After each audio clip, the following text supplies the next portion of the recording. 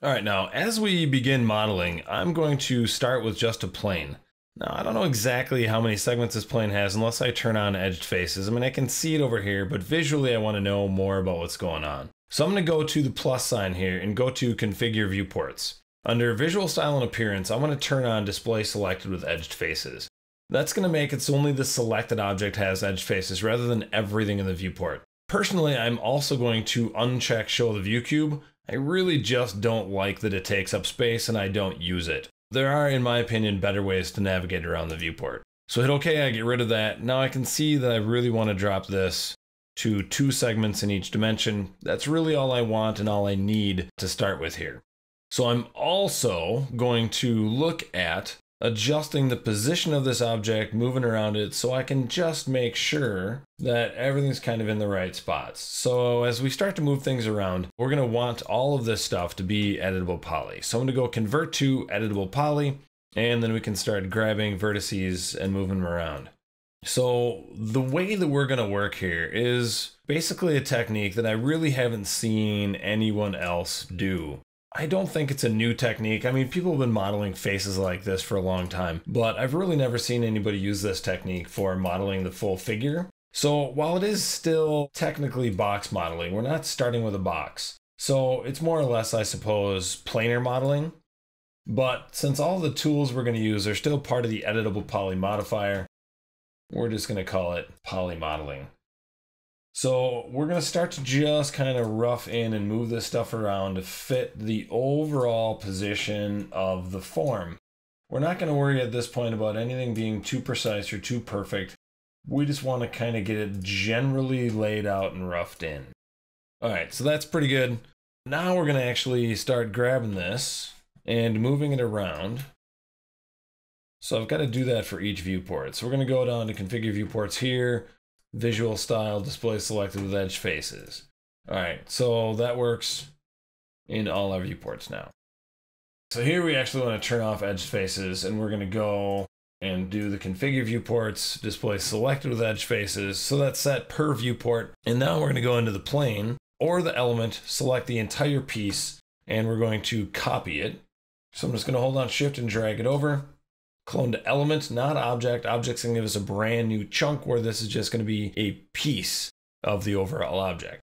So now we want to rotate and move it. It's gonna end up being our shoulder mass. So we're gonna go back to vertex. We're gonna start moving this stuff around. So again, we're just doing some rough blocking here. We're not worrying about absolute precision at this point. So these are gonna have to come in a bit, out and down. Now, as we look around it from this view, we're going to see some of this stuff definitely needs to be moved around a bit.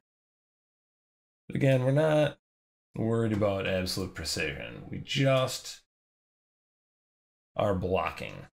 So the blocking phase is going to kind of be the quick and dirty part of all of this, where we just rough things in and get things just kind of generally laid out where we want them. Now, for the most part, our top viewport here is not doing us a whole lot of good.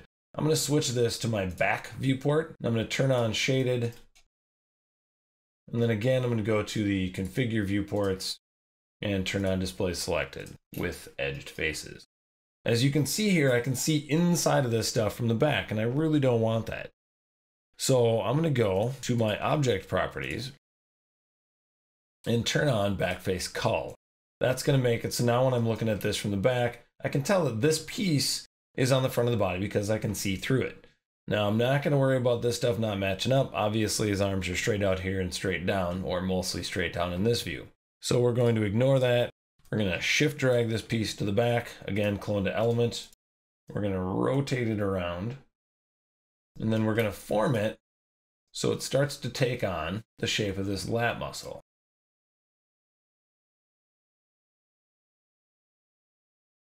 Now, if we have too much stuff starting to get in the way, front and back, we can always here turn on ignore back facing, which is going to make it so that the pieces on the front of the object can't be selected while I'm working on the back.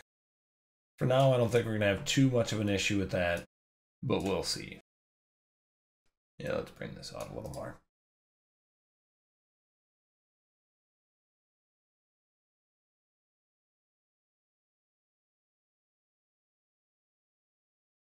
All right, now we definitely want the vertices along the spine to be indented basically further than they are here, but we do need to make sure that we're not getting things too far in or too far out. So again, these side views are really just kind of a reference to help us from getting things too far out of whack. All right, that is a pretty good start. And from here on, we'll be kind of building more muscle masses and connecting things together.